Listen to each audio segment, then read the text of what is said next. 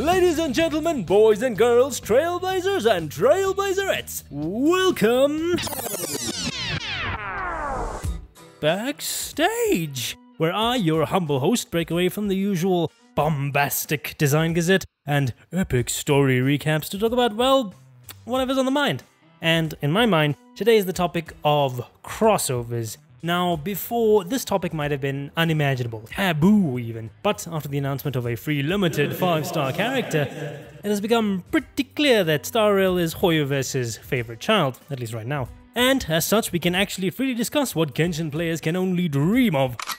Okay, maybe I'm being a bit facetious, after all they did get Aloy, but that's not the only reason why the topic of crossovers is relevant today. Because despite being the favorite child, Rail is generally less popular than Genshin, and as such will eventually need a boost in player base. And if there's one thing I know about marketing, it's that crossovers always bring in new players. You only need look at the success of Smash Bros. MultiVersus or any mobile game. Hell, I myself would never have become a fighting game fan if it weren't for Noctis in Tekken 7. Needless to say, fans will follow their favorite franchises no matter what medium they're in. And this brings us back around to the idea of crossovers in Star Rail. And today, I want to talk about 10 potential crossover franchises that Honkai Star Rail can collaborate with in the future.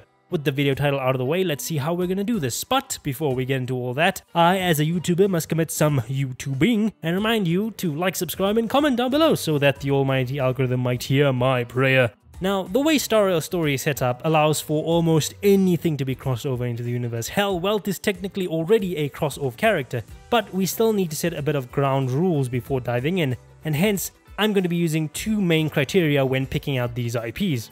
The first one is that it must be relevant. You don't usually have crossovers with franchises that are dormant. So, as a parameter, the other party must have something coming up within the year, be it a movie, anime, or video game. The second criteria is that it must be Eastern. Star Rail is an anime game, and you preferably want to have your target audience be an anime-esque audience. You only need look at Genshin Impact to see the spectacular failure that was the Horizon Zero Dawn crossover. So don't expect John Marston to shoot the shit on Penacony. And with that, let's get into the first collab.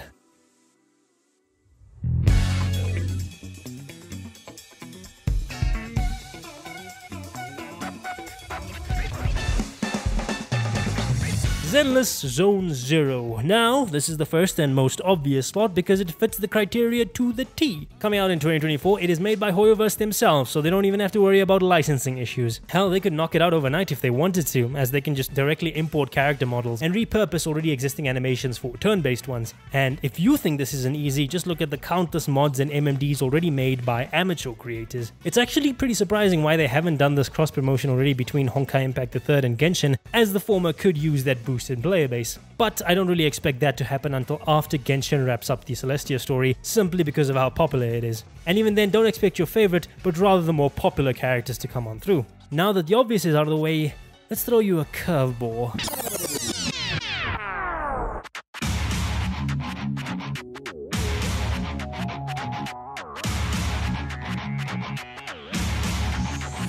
Told you it'd be a curveball. Published by Sega and developed by Ryuga Gotoku, Yakuza follows former Yakuza members Kazuma and now Ichiban, who become entangled in various criminal and dramatic situations, to say the least. Now, on the surface, Yakuza might look like a soap opera crime drama, but really, the series is absolutely bonkers with the amount of shenanigans you can get up to.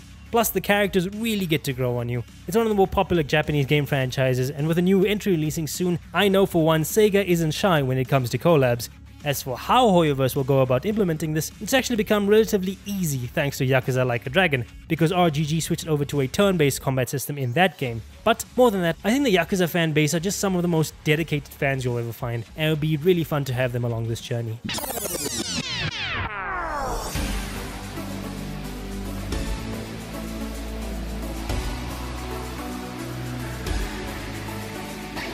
Now, we all know I had to choose a mainstream newcomer of an anime for this list, and it was pretty hard to choose between this and Chainsaw Man, which has a very similar vibe. Honestly, you can substitute either or, but I chose Jujutsu simply because I just finished the second season and am now suffering PTSD. Now, you could straight up create new character models and animations for our favorite sorcerers, but I think the smarter implementation of this crossover would be via skins. Star Rail has yet to introduce character skins, and collabs are usually the perfect opportunity to do so, as you can make faithful to source material stuff without expending too much dev resources. You can have Itadori Trailblazer, Kugisaki March, and Fushiguro Danheng skins for the main trio. Similarly, you can also pull off the same thing with Denji, Power, and Aki from Chainsaw Man, with the too good not to miss opportunity skin of Kafka Makima, which would probably make so much money it would top any banner sale.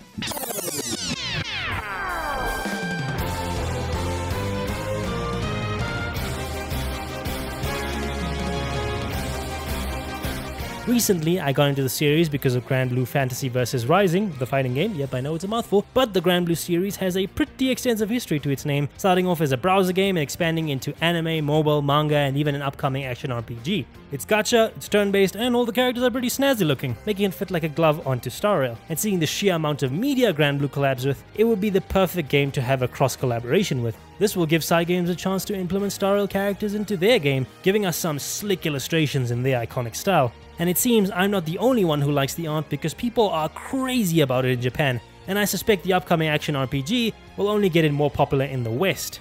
Speaking of things a bit popular in the West.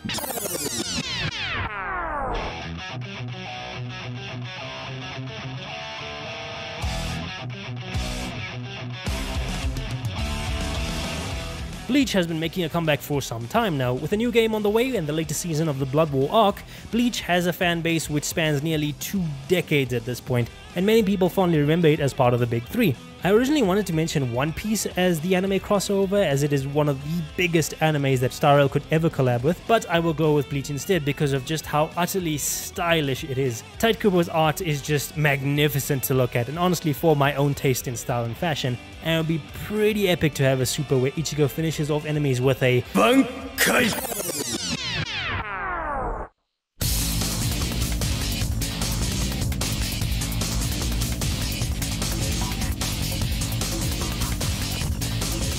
Devil May Cry is the definition of smoking sexy style. DMC follows the adventures of Dante, a demon hunter with supernatural abilities, as he battles demonic forces to save the world from various supernatural threats. I love this series, and I know for a fact Hoyoverse loves it too. I mean, half the characters are basically just Virgil's children. So, seeing how Netflix are releasing an anime this year and Capcom just love their crossovers, I think it would be the perfect series to bring onto Star Rail. Leaving aside the cool character designs and skins, it would be pretty exciting to see what sorcery the animation team over at Hoyoverse can do, given the endless sea of moves that is Dante.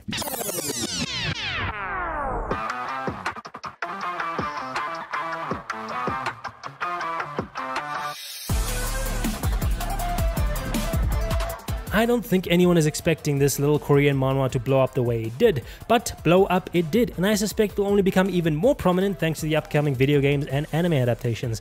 Though it might break the lore a bit by having the solo leveling guy in a team making game, but the potential summoning necromancer mechanics could be fun to play around with. Personally, I think animations and game mechanics are the only way you can get creative with this collab, because if I'm being honest, the character designs are not very unique. I mean, at this point everyone looks like Sung Jin Woo. But still, knowing Hoyoverse, they will probably figure out something to make the man look comically overpowered.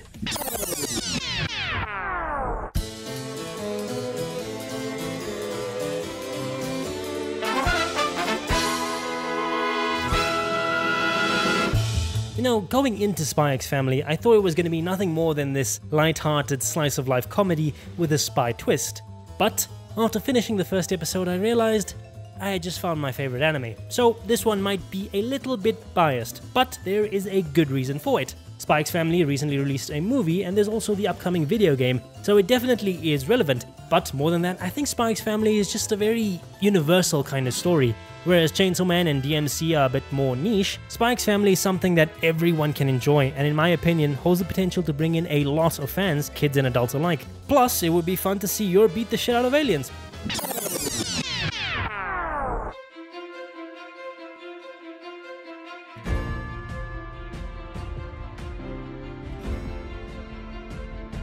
As an iconic legend in video games, Final Fantasy is one of the most deeply fleshed out franchises and is known as the father of fantasy RPGs. So with 7 Remake Part 2 coming out, I think it's only fair that Hoyoverse tried to collaborate with one of their biggest inspirations in order to bring Cloud Strife into Star Rail. The original FF7 was turn-based, and the new ones also have that cool ATB mode, so the transition to Star Rail should be pretty natural and smooth. I know Square can be a bit cagey when it comes to these sorts of things, but it's worth the dream, because these are some of the most iconic characters in video game history, let alone RPGs, and if you want a guaranteed hit crossover, you invite Final Fantasy aboard the Express.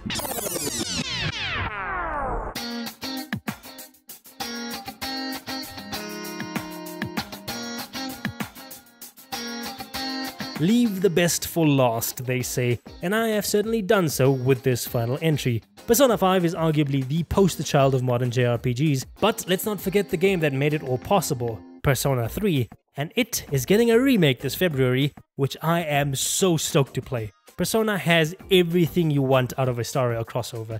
It has a combat system with elemental types that can slot right into Star Rail. It has compelling characters whose chemistry is bombastic, not to mention a sick ass soundtrack that you can't help but bob your head to. It would not be a stretch to say that there are a lot of elements of Star Rail that are inspired by Persona. And recently, the Star Rail team did visit the headquarters of Atlus, the makers of Persona, and Shigenori Soejima, the lead artist behind the Persona series, drew March 7 for them. So now my hype levels have blown absolutely beyond the roof, because now there is a real possibility that there is a Himiko Mitsuru skin out there!